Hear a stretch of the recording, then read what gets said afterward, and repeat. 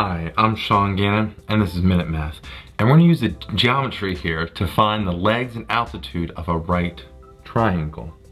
Our figure here is as such. We have a right triangle, the hypotenuse kind of laying on the bottom, and we have a, little lengths kind of written here, two and eight. A and D is two, D, B is eight. And then we have an altitude that's drawn there. It's how created, well, these two parts here. Which is that information, we wanna find our missing parts of the triangle. We have a height right here and the other two legs uh, of the triangle. So just that, we wanna see if we can find those values. So pause this video, see if you can remember what you learned in geometry. But uh, if not, we're gonna go tackle a way to solve this problem. Okay. So we want to solve this problem here. We're going to use what we know about the geometric mean theorem with altitudes, okay? And what that really does is when we have an altitude, which we have here, right angle from the hypotenuse to the right angle, kind of see how that goes. So the hypotenuse of the large triangle, opposite of the right angle, but we have a straight line, altitude here to this right angle here that goes into that hypotenuse some things happen. We have a lot of similar triangles. We actually create three similar triangles. It's a beautiful, beautiful little thing in geometry here. And we have three right triangles, as you can see, A, D, C, then B, D, C, and then A, C, B. So I'm going to write these right triangles out to show that they're similar here. And in doing so, we have a triangle here. I want to make sure I keep the same order, the small leg to long, long leg. So we have A, D in that order, A, D, C. All right, small leg, long leg in the order A, D, D, C. And then that's similar to our triangle, okay? Small leg, C, D, to then B, the long leg. And we're gonna do the same thing, same thing here, with the larger one, A, C being the small leg. Oops, not C. I made a to look like an A. A, C, and then B, with the hypotenuse being, well, kind of B back to A being the hypotenuse. With that, I like to redraw a little image under each one of the triangle here, okay, redraw what we know. Now, we have some question marks, so let's give some labels here. Let's call the length CD our H, our height here. Let's call this one CB, opposite of big A, to be little a.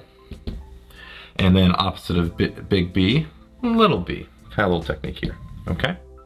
So let's go draw these little triangles. We have a little right triangle here and put what we know. So we have A, D, C, little leg is two, big leg is H, and hypotenuse is B. Here. The second one, same idea. Again, not drawn to scale, but in the same order. Little leg here is CD, the length CD, which is H. Then large leg DB, which is 8, which we know. And then the hypotenuse is A, CB. And then a large triangle, we have little leg, big leg here. Okay, little leg is AC, which is B. Then we have the long leg, which is CB, which is A, in this case here. And then our hypotenuse, that should be pretty easy, 2 and 8 right there for BC is a 10. Okay? So now what do we know about similar triangles is that their side lengths are proportionate. So we're to take what we know, can we make some proportion here and solve for a missing variable, okay? So my guess is each one has a way that we can put them together to get a proportion, to get a variable by itself with a number, blah, blah, blah, get the answer. That's the goal here, okay? So what I'm looking for here, uh, oh, right. We have A, 10, 8, and A. Look at that. We have A, well, one variable is repeated. So we can say that A over 10 is equal to 8 over A. Hypotenuses over, uh, hypotenuse over each other, long leg over long leg, okay? Cross multiply right there. We have A squared equals an 80, okay? Then we want to take the square root of both sides, bada boom, bada bing. And we have A is equal to square root of 80. I simplified that for us, and that is 4 square root of 5. And so A has a length of 4 square root of 5. Okay. So now let's go see if we can find another one here. Now, keep in mind we have 4 square root 5 right there given to us. What else can we get? Um, bum, bum, bum, bum. Applying here, maybe the first. These two should be able to go together. What am I getting here? Uh, 2h, h, and 8. Perfect, same thing. So 2 over h, the short leg, so 2 over an h is equal to an h over an 8. Again, we cross multiply here. Fitting it in, 2 times 8 is a 16 equals h squared. Square root both sides.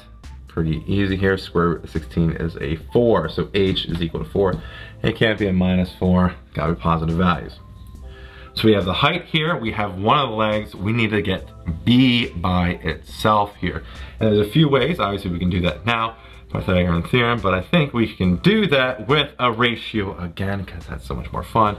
The first and last one right here, to B, B, 10. We can do that, right? They're similar triangles. So 2 over B is equal to, so 2 over that B is equal to B over 10 cross multiply always. 10 times 2 is 20, you should get that, equals b squared, right? b times b, b squared. Square root both sides and b, that's right here. Isn't it lovely how that happens? b equals square root of 10. Oh, just double check minus, uh, square root of 20, sorry, it's 2 square root of 5. And we got a b value here. So there we have it. We have the two legs, 4 square root of 5 and 2 square root of 5, and a height of 4 with just the values that were given. And we use geometry here to find the legs and altitude of a right triangle. Well, I hope you learned something here and you had some fun learning about it. If you did, don't forget to like the video, subscribe to our YouTube channel. Uh, this helps us make more of these fun math videos for you for everyone else. So, as always here, thanks for watching.